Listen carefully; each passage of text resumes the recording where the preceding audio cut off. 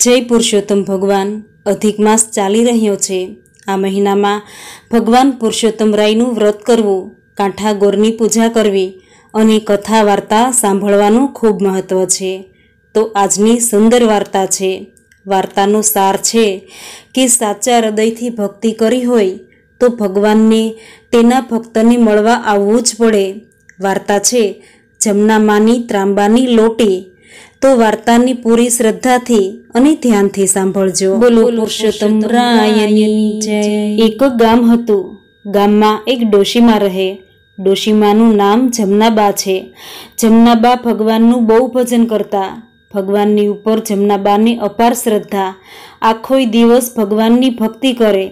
સવારે વહેલા ઉઠી ભગવાનને નવડાવે. જમનાબા ત્રાંબાની એક લોટી રાખે અને એ જ લોટીથી ભગવાનને નવરાવે છે. અને આ લોટી ઘરમાં કોઈએ પણ લેવાની નહીં.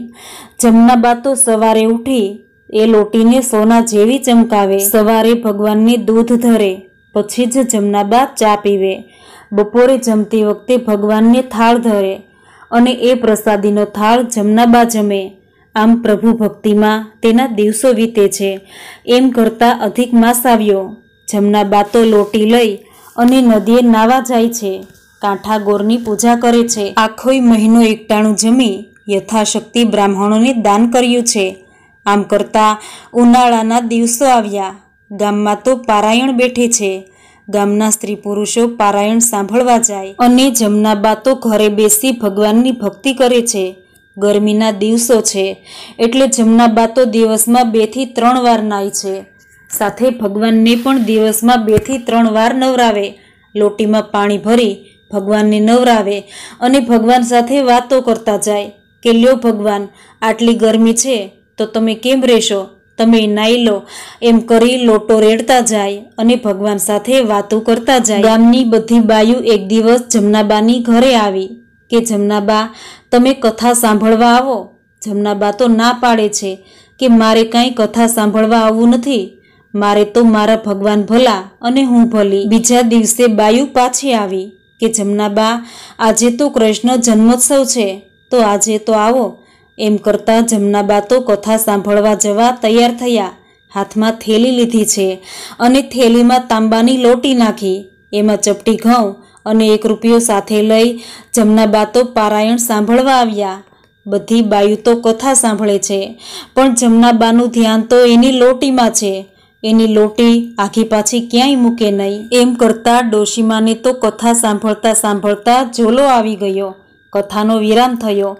બધી બાયુ ઘરે જવાની તૈયારી કરે છે અને કહે છે કે જમનાબા કેમ સૂઈ ગયા? જમનાબા જાગો, ઘરે નથી આવવું અને જમનાબા તો જાગી ગયા.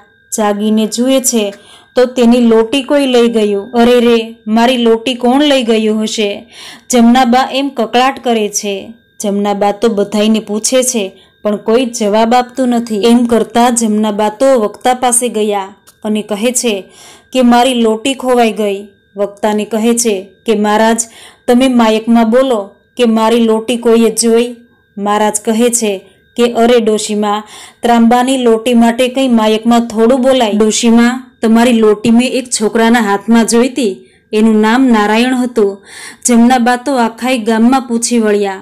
પણ કોઈ છોકરાનું નામ નારાયણ ન હતું. એમ કરતા બીજા દિવસે પણ જમનાબા કથા સાંભળવા ગયા. બધી બાયું તો કીર્તન ગાવા ભેગી થઈ.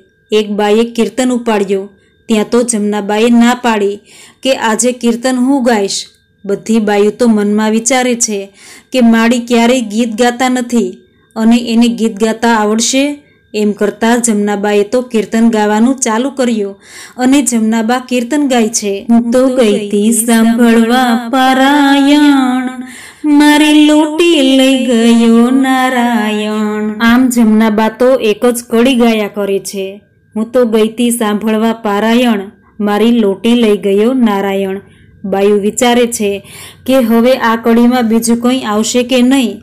જમનાબા તો આ એક જ કડી ગાયા કરે છે. એમ કરતા લોકોમાં ચર્ચા ચાલી છે કે જમનામાની લોટી ખોવાણી આ એક જ ચર્ચા આખા ગામમાં ચાલે છે. અને પૂર્ણાહુતિનો દિવસ આવ્યો. આખું ગામ ઉત્સવ મનાવે છે અને આનંદ કરે છે. પણ જમનામાને તો મગજમાં એક જ રટણ છે. નારાયણ અને ત્રાંબાની લોટી. જમનાબાનું રટણ ચાલુ જ છે કે નારાયણ લોટી લઈ ગયો. બધાને પૂછે કે કોઈએ નારાયણને જોયો? આ બાજુ ગોલોકમાં લક્ષ્મીજી ભગવાન વિષ્ણુને કહે છે કે તમે પૃથ્વીલોકમાં જાઓ અને માળીને તેની લોટી આપી આવો. અને લક્ષ્મીજીની વાત ભગવાને માની અને ભગવાન વિષ્ણુ બાલ સ્વરૂપે પૃથ્વી લોક પર આવ્યા અને જમનામાની ઘર બહાર જમનામાને બૂમ પાડે છે કે જમનાબા, ઓ જમનાબા, લ્યો તમારી લોટી. જમનામાં તો આ સાંભળી દોડે છે. અને બાલ સ્વરૂપે આવેલા ભગવાનના હાથમાંથી લોટી લેવા જાય છે. એ સાથે જ જમનામાં હાથ મૂકવા જાય છે. અને ત્યાં તો ભગવાન અંતર ધ્યાન થઈ ગયા.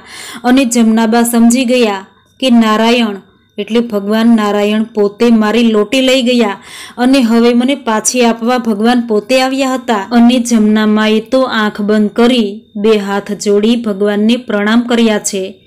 આ રીતે જમનામાની ભક્તિ ફળે અને ભગવાનને પોતે જમનામાને મળવા આવવું પડ્યું. મિત્રો, કહેવાનું એ છે કે એક ચિત્તે સાચા હૃદયથી ભગવાનનું ધ્યાન, સ્મરણ અને ભક્તિ કરી હોય, પણ મનમાં ભોળો ભાવ હોય, કોઈ કપટ ન હોવું જોઈએ, તો ભગવાનને પોતે પણ આવવું જ પડે છે. હે પ્રભુ નારાયણ, તમે જેવા જમનામાને ફળ્યા, એવી તમારી ભક્તિ કરનાર, આ કથા વાંચનાર, સાંભળનાર દરેકને ફળજો. દરેકની મનોકામના પૂર્ણ કરજો. જય પુરુષોત્તમ રાય. મિત્રો, આજની સુંદર કથા સાંભળવી આપને જરૂર ગમી હશે. તો વિડીયોને લાઈક કરી, કમેન્ટમાં જય પુરુષોત્તમ રાય લખી, ચેનલ પર નવા છો, ચેનલ સબસ્ક્રાઈબ ના કરી હોય, તો ત્યારે જ કરી દેજો. ફરી મળીશું અધિક માસની આવી જ સુંદર કથા વાર્તાઓ સાથે. જય પુરુષોત્તમ રાય.